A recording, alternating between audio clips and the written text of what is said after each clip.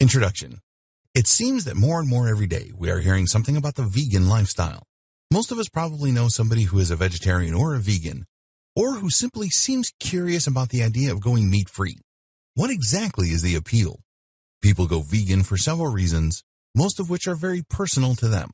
Of course, you may find those who are very emotionally connected to their cause and seek to inform and educate others on cruelty-free procedures so that their message can be heard.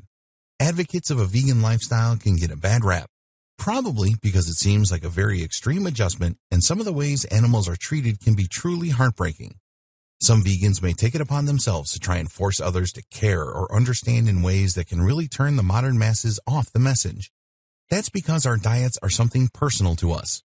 We all have the right to choose the way we eat, and it is a privilege that in this day and age we have the resources available to us to actually cut meat out of our lives safely.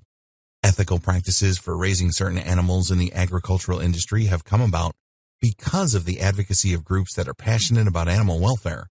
And for those of us who are interested in veganism, but not quite ready to make it an active lifestyle, that's okay.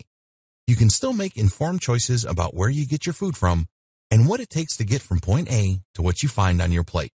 Whether you are taking this training to learn more about veganism and what it means, or you are seriously considering a vegan lifestyle and want a guide to help show you the way, this training will help you to learn the basics of going vegan and how it can benefit not only your body and mind, but also the world around us. Let's get started.